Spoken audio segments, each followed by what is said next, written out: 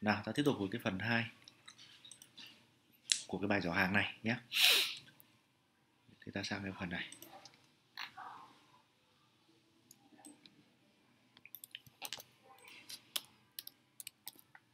Đây, phần 1 này. Đây, phần 2 này. Ok.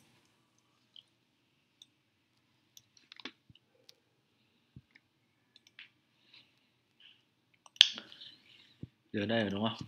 Ta sẽ sử dụng này. Ok, đây là dòng tiêu đề. Dòng tiếp theo này, ta có clip. À ra đi. Chèn cốt vào đây nhá ta có clip. Ok. Pro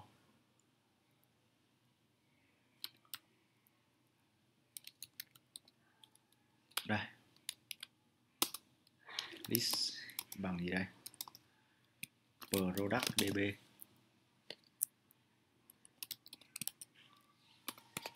chấm. ZO. các bạn thấy bạn thêm vào đây thì nó sẽ import vào này. Sau đây ta sẽ cho for. In y bằng 0 y nhỏ hơn. List chấm size và y cộng cộng. Đúng không? Mỗi cái này ta y là một dòng. Đúng như nhỉ? Ok. Mỗi cái này chúng ta in ra một dòng này. Chúng ta sẽ đưa cái à, phần trăm đóng ngoặc vào đây. Nha xong chỗ này là phần trăm gì? Mở ngoặc phần trăm để cái chỗ này ta chèn cái tr vào đây này. Copy cái này, đúng không? Đấy. thế mà cái code này thì chúng ta sẽ phải gọi cái code lên, đúng không nhỉ?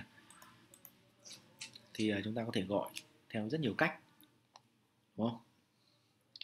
Có thể là ta dùng cái kiểu GSTL ta cũng gọi được. Mà gọi theo kiểu thông thường thì ta cũng gọi được đúng nhỉ? Vậy ở đây chúng ta muốn dùng cái gì thì chúng ta có thể thực hiện cái việc đó.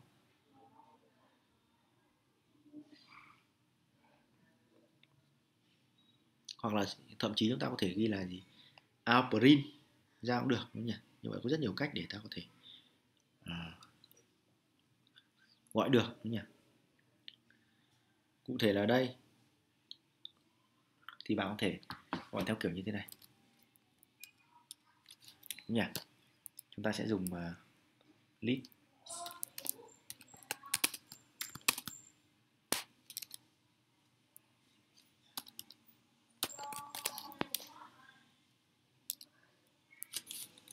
nếu không thì bạn cứ để phần trăm đi cho nó dễ.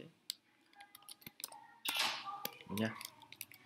Ở đây ta sẽ có list à, ta sẽ có bình tĩnh nào ở đây ta sẽ dùng cái uh, product p bằng new product nha. Đấy. đây chỗ này ta sẽ có p.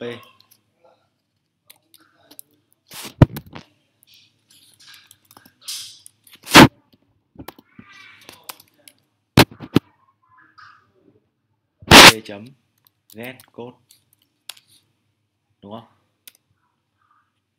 Này thì đã có gì?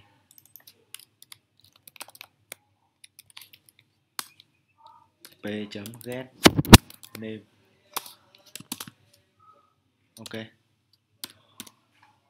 Chỗ này ta có p chấm get price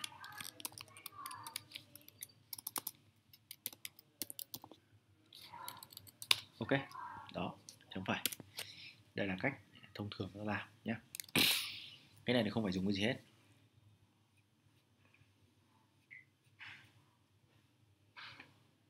Ok, thế thì chúng ta, ở đây nha chúng ta chưa cần tạo controller đúng không? Ta chỉ cần run thôi. Để xem tình hình như thế nào.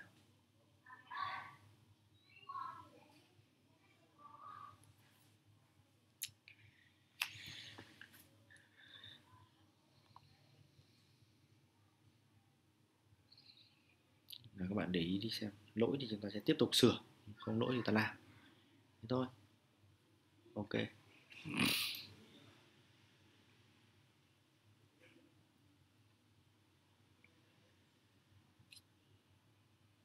Ào giả code name pride thì có, nhưng chúng ta lại chưa lốt được gì, dữ liệu lên, đúng nhỉ?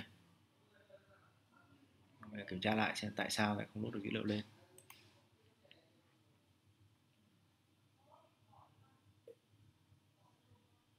Get on này, chúng ta kiểm tra lại trong cái phần uh, ưu tiên này trước. Shop 301 chắc là đúng rồi. Select sau from product. Kiểm tra lại cái database. Nó là product. Và có code này, có name này, có price này. Code name, price. À ta phải xem ở đây nữa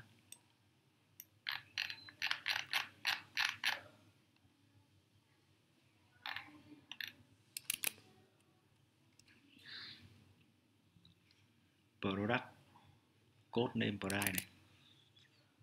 Uhm. rồi, get on rồi. Nó kiểm tra cái này, chỗ này thử xem như nào.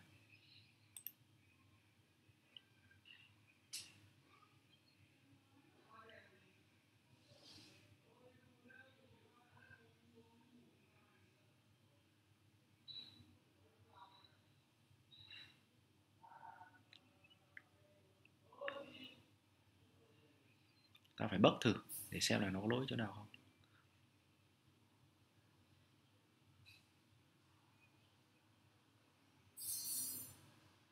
À.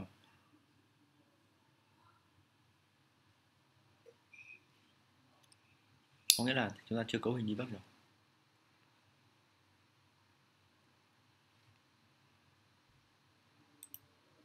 Sort 301 shop 301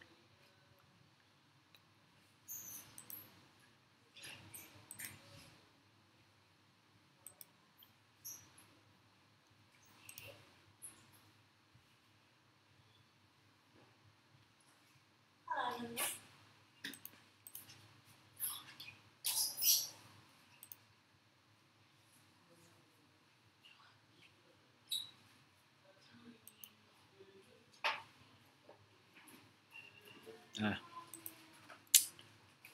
Nó lại không chạy vào đây. Đây kích vào đây nhé xem nào. Giỏ hàng này, đi bắc này.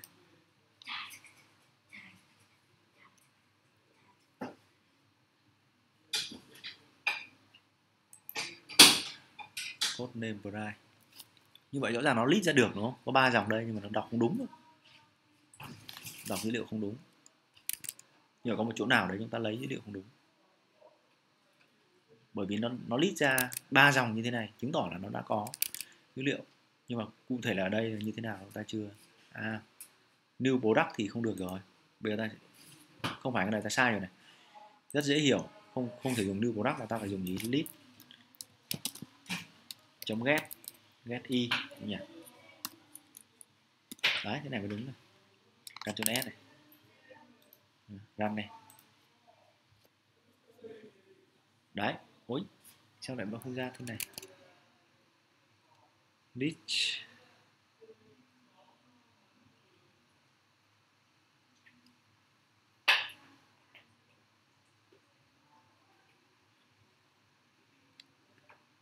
productdb.get on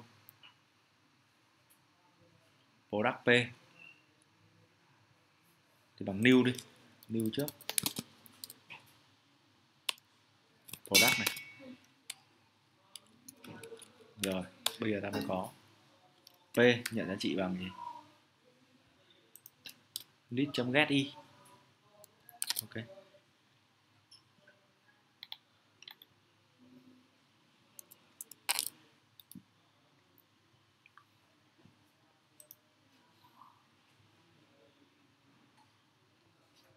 Có cái gì đấy chưa đúng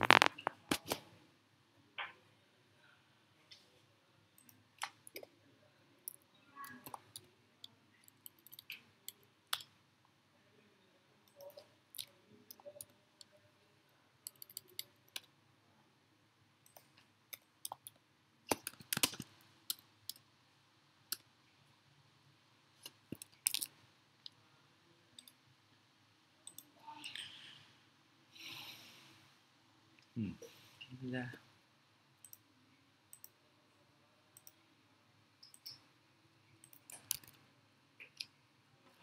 nào nghĩ ra cách nào mà chúng ta có thể lấy cái bảng này nó hợp lý hơn nhỉ? Tại sao cái cách này gọi là gọi được?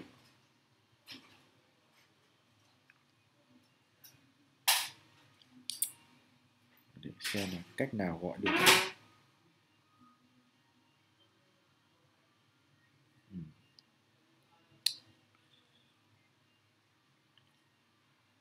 đúng rồi này chỗ này đúng rồi. Đúng hết rồi mà sao?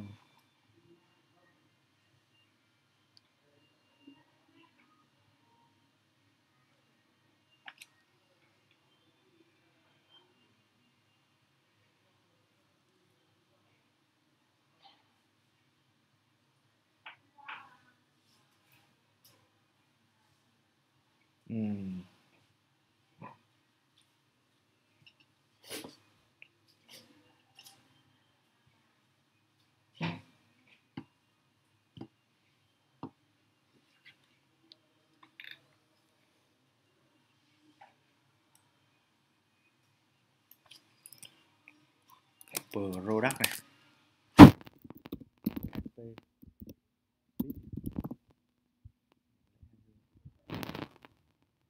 Đúng không?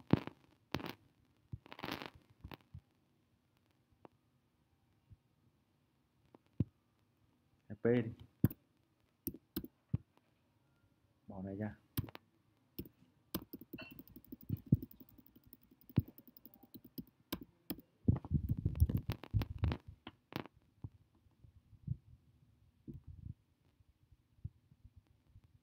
product HP list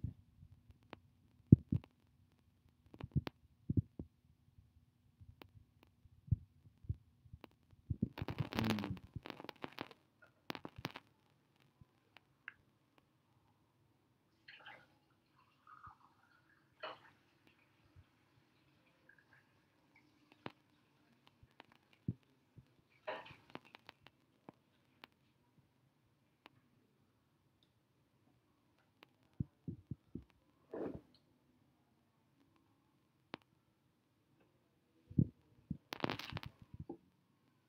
chạy lại đi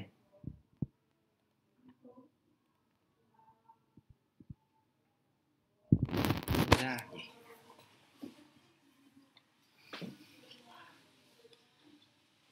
ừ, bỏ nó đi xem nào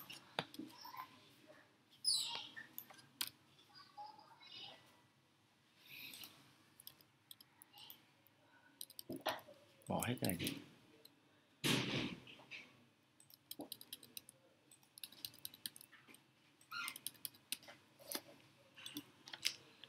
ta sẽ ghi là out.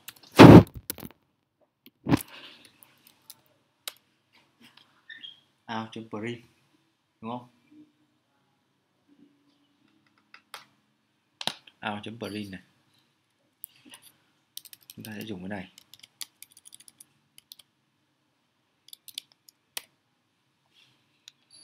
Xong lại out.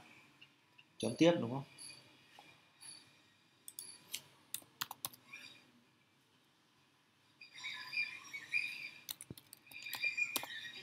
Rồi.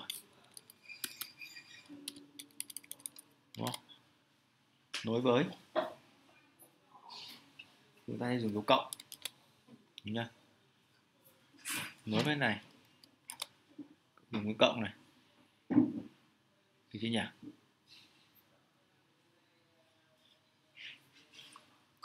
Xong lại nối với cái này.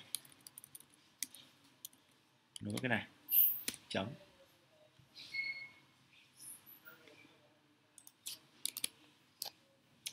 Tương tự như thế ta lại có out chấm print mở hoặc này ra. Mở này ra đúng không? Đóng cái này vậy nối dấu cộng này.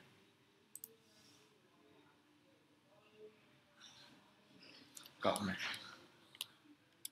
Nối dấu cộng.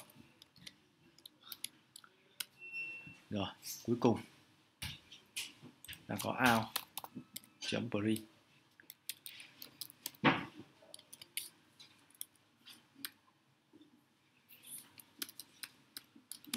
đây. Cộng với này. Cộng với. Đóng này lại. Cuối cùng có thêm một cái nữa đúng không? Ao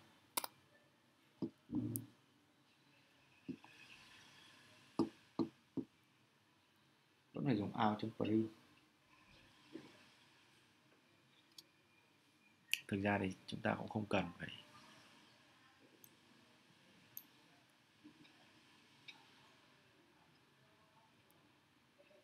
out.print đi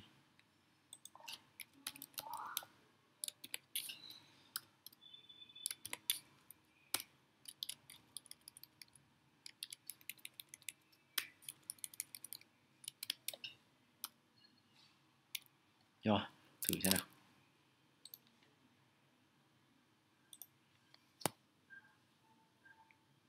đấy đúng rồi đúng không? vậy thì, thì đúng rồi. Cách gọi vừa là không được. Nó không nó không cái p là nó không nó không hiểu. Nên chúng ta phải dùng cách này. Ok như vậy là ta đã lấy à, liệt kê giỏ hàng đây chưa? Đúng rồi đúng không?